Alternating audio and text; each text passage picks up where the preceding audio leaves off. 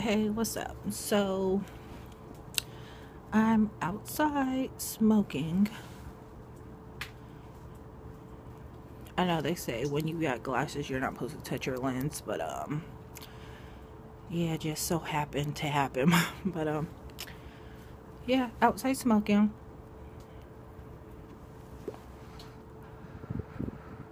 But the moral of this video is not because I'm outside smoking. It is actually because I changed my channel name, which I thought it was going to change the whole URL, but I just text myself typing in www.youtube.com slash Mimi Media Spasmatic, all one word. And it didn't pop up.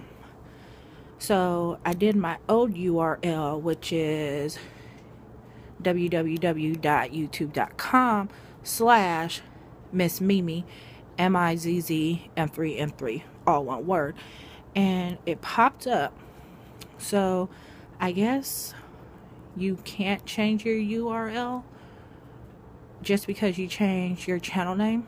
So, quite not sure about that. But, like I said, I'm outside. This is my front door. Yeah. I have a dog named Max. Um, I spelt it on that paper, M-A-X. But, um, on one of his pictures I did, I put Max, M-A-X-X. But then on his dog tag it says MAX.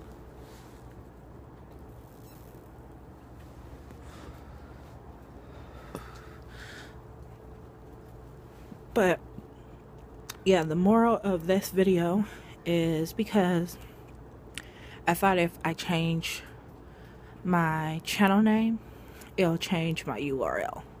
But apparently it didn't.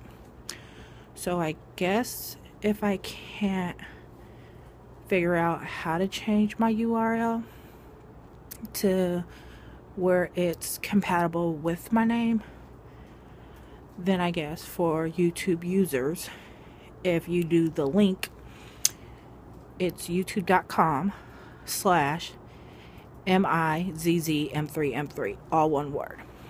But if you just want to go on YouTube, hit the search button and type in Mimi Media Spasmatic, all one word.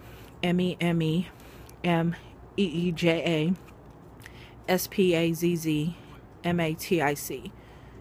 You'll find me either way.